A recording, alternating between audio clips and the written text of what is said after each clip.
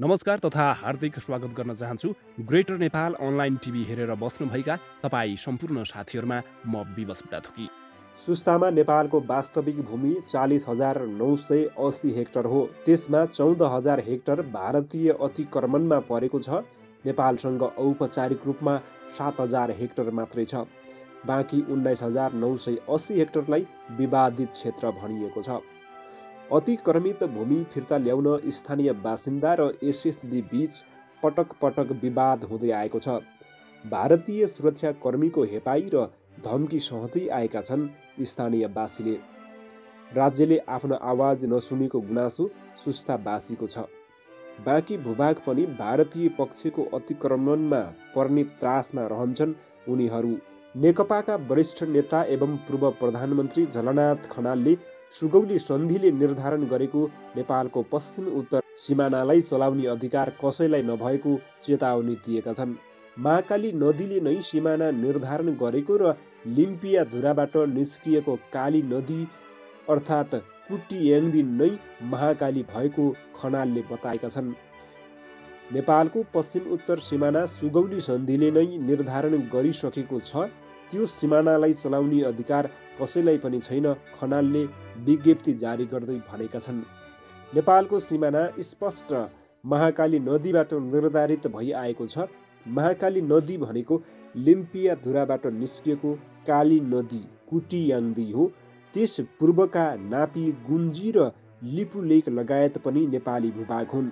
खनालले ऐतिहासिक कालदेखिका तथ्याङ्क प्रस्तुत गर्दै भारत सरकारसँग अविलम्ब वार्ता गरेर कुटनीतिक ढङ्गले समस्या समाधान गर्न सरकारलाई सचेत गराएका छन्। सुस्ताको माटोले के बोल्छ हामीलाई थाहा छ। सुस्ता हाम्रो माटो हो। सुस्तावासीले सीमा सुरक्षामा खटिएका भारतीय सीमा सुरक्षा बल एसएसबीका अधिकृतलाई भन्दै थिए। एसएसबीका अधिकृतले उनीहरूलाई सुस्ता भारतमा पर्छ भन्दै थर्काउँछन्।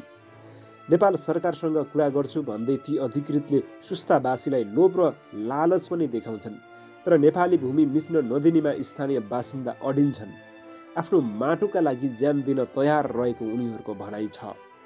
तर दुर्भाग्य सीमा छुट्याइ उम्बिएको जङ्गी पिलर रातारात एसएसबीका सुरक्षाकर्मीले लुकाइदिन्छन् र सीमा मिचिन्छ।